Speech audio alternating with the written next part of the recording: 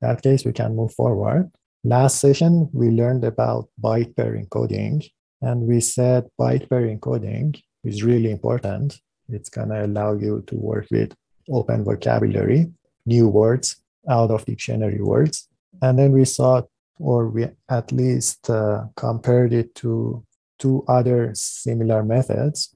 One of them was byte level byte pair encoding, which is you're going to, rather than using characters extracted from your corpus, which byte pair encoding uses, you're going to use Unicode characters, and your byte is now going to be Unicode. And the other extension was word piece model, which is going to use a different strategy to merge uh, subwords together. Many modern language models, like uh, the most recent ones, RoBERTa, I guess, like ELECTRA, like uh, like T5, they're going to be using sentence piece to do the tokenization. What is that? There is going to be very little math in this slide, but it's actually really practical. You can download the package or install it on your computer, and then uh, you're going to be using the following commands. The first one is SPM, which is going to stand for sentence piece model underscore train. You're going to tell to it what is your training corpus. You're going to put a very large uh, text file. This could be basically all of the sentences in every single document on a Wikipedia corpus. So you're, you're just going to put everything in a very large file, or the algorithm can actually take multiple files as well. You can just put a list here, comma, another file, comma, another file. And the way that this text is formatted is going to be one sentence per line. So that's all pre-processing you need to do. So one sentence per line. And you're going to give it your inputs corpus. After the training process is done over your input text, you're going to end up with a model. This is a name that you choose. You can call it whatever that you like. Let's call it SPM. And then you can say how many word pieces you want to end up with. This could be 1000 or this could be 32K or a hyperparameter that you choose. This is your vocabulary size. And then you let the algorithm do its job. And then I'm going to tell you what it is actually doing. It's going to do the training. And once the training is done, you can say, okay, I'm going to write a text like hello world, and I'm going to pipe it into SPM encode. And then we are going to use the model that we just trained. And then it's going to output the word pieces. This is what we understand. Actually, this is what we understand. This is what the algorithm is going to spit out. But in the end of the day, any sentence that you want to work with, it needs to be translated into a sequence of integers. That's what the computer likes. And the way that you're going to do it is you're going to say output format should be in the form of IDs. And these are the IDs of these word pieces in the dictionary. And that's going to give you a bunch of IDs. If you want to go the reverse route, you're going to use SPM decode. You're going to still use the same model. You have two options. One of them is giving it this sequence of word pieces that we just generated, and then it's going to decode it correctly into something that a human can read and understand. The other option is you have a sequence of integers, and then you can decode it into something that a human can understand. And the field of natural language processing is all about a human interacting with a computer, speaking with a computer. And therefore, this tokenization process is really important. A human can understand and read this sentence. A computer can understand this sequence of integers. And then you are translating back and forth. That's the idea of tokenization and de- detokenization. Why is it important? Uh, let's keep this table aside for a while. I'm going to come back to it. What is the sentence piece algorithm doing? There is going to be four major components. First of all, there is going to be a text on the internet, and we know that internet is nasty. People are going to end up with new words. People are going to end up with new characters. For instance, they're going to say, see you at two to make an appointment, but then they're going to write it uh, C with a letter C, at with this at uh, symbol, which could be shift two on your keyboard, and then add two. So they're to come up with nasty symbols, or they're to write something with smiley faces. The idea of normalizer is to turn everything into a unique representation or a normalized representation. Maybe multiple characters, you can just map them into the same Unicode character. And there is actually a field of its own, how to normalize.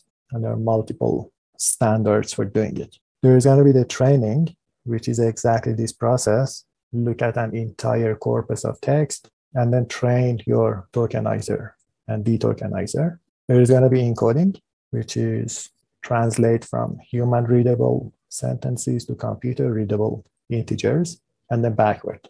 For normalizer, it's a module to normalize semantically equivalent Unicode characters into a standard form, into a canonical form. And by default, the sentence piece algorithm is going to give you multiple options to do that.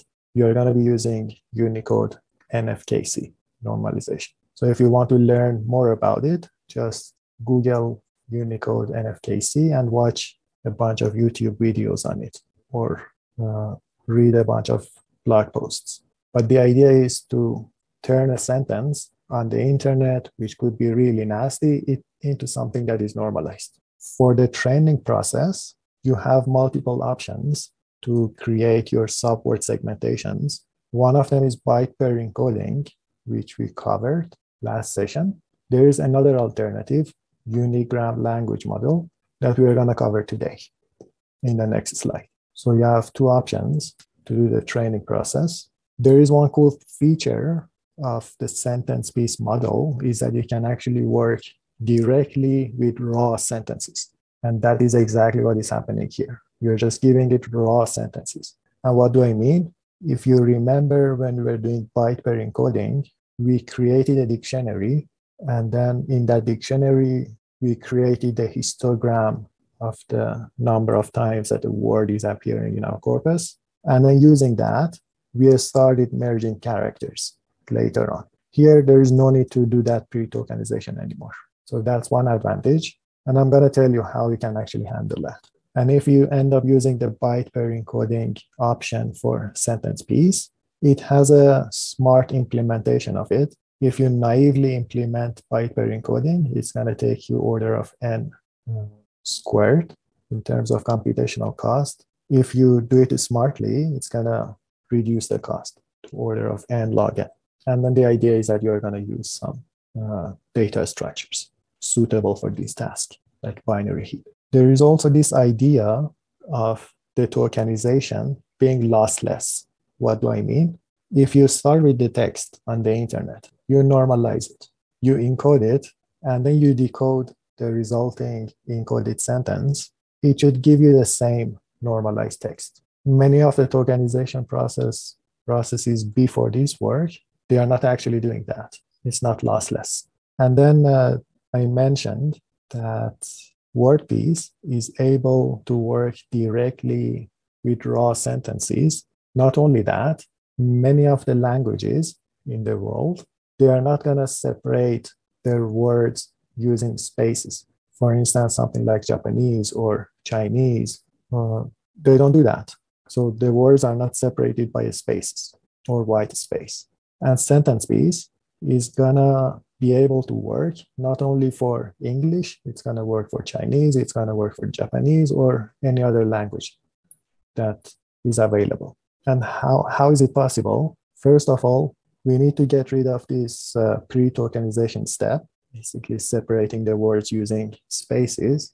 Let's get rid of that. And how do you get rid of it? Any white space that you encounter in an English sentence or any other language that uses spaces, you're going to replace that with a meta symbol. It's a fancy symbol. It's actually not underscore. It's just a symbol that looks like underscore. And that's the Unicode code for it.